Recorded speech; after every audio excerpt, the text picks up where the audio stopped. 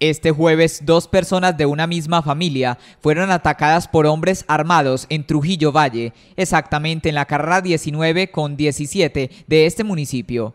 En el atentado sicarial resultaron heridos padre e hijo. El progenitor, identificado como Nepomuceno Cristancho Peñalosa, de 60 años, natural de Trujillo, casado, recibió dos impactos en la región abdominal y en el tórax, por lo que fue trasladado al Hospital Santa Cruz de esa localidad, de donde luego fue remitido a una clínica de Tuluá, donde falleció esta madrugada cuando se le realizaba un procedimiento quirúrgico.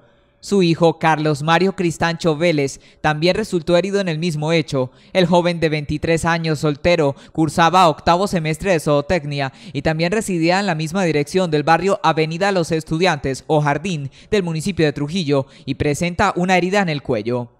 De acuerdo a lo informado por las autoridades, los hechos se presentaron cuando el joven Carlos Mario iba saliendo de su residencia, ubicada en la carrera 19 con 17, cuando lo abordaron dos sujetos quienes se movilizaban a bordo de una motocicleta y sin mediar palabra arremetieron en contra de su humanidad, persiguiéndolo por toda la casa.